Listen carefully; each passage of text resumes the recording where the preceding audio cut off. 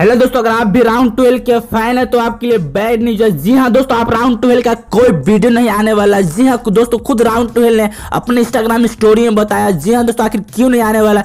पूरी बात विस्तार से बताने वाला हूँ। लेकिन उससे पहले हमारी एक छोटी सी रिक्वेस्ट है। वीडियो को अभी तक आपने लाइक नहीं किया तो प्लीज़ वीडियो को लाइक कर दीजिए। चैनल पर नए हो तो चैनल को सब्सक्राइब कर लीजिए। तो चलिए, बिना देरी कर तो वीडियो को स्टार्ट करते हैं। तो देखिए राउंड ट्वेल्व ने अपने इंस्टाग्राम स्टोरी में क्या लिखा हुआ है? यूट्यूब इंडिया को मेल करते हुए। तो मैं आपको हिंदी में यहाँ पे पढ़ के बता देता हूँ। तो राउंड ट्वेल्व ने लिखा हुआ आप यहाँ बताइए कि अपने वीडियो यूट्यूब पर अपलोड करनी चाहिए या नहीं करनी चाहिए। हम बहुत पैसा खर्च करते हैं और उसके बावजूद भी हमें पीला चिन्ह मिल जाता है। दोस्तों, मैं यहाँ पर रुक के बताना आपको ये चाहूँगा कि पीला चिन्ह का मतलब क्या होता है? अगर दोस्तों आप यूट्यूब पर क्रिएटर हो तो आपको मालूम होगा बट अगर आप यूट्यूब पर क्रिएटर नहीं है तो मैं आपको बता दूँ, अगर आपके वीडियो में पीला चिन्ह आ जाता है तो उसके बाद आपको यूट्यूब पैसा नहीं देता है। दोस्तों, ऐसा इसलिए होता है यूट्यूब पीला चिन्ह क्यों भेजता है? तो दोस्तों, मैं आपको बता दूँ, अगर आप अपने वीडियो में गाली का उपयोग करते हैं या वीडियो में खून उन दिखाते हैं, इसके वजह से अब पीला चिन्ह मिलता है। तो राउंड ट्वेल्व ने साफ़ साफ़ कह दिया हुआ है कि मैं ऐसा वीडियो बनाता हूँ जिसमें थोड़ा ना थोड़ा खून दिखाना पड़ता है, क्योंकि खून तो ओरिजिनल रहता नहीं है और थोड़ा बहुत गाली का भी उपयोग करना पड़ता है, उसमें गाली को वो हाइड करते हैं। उसके बावजूद भी उनको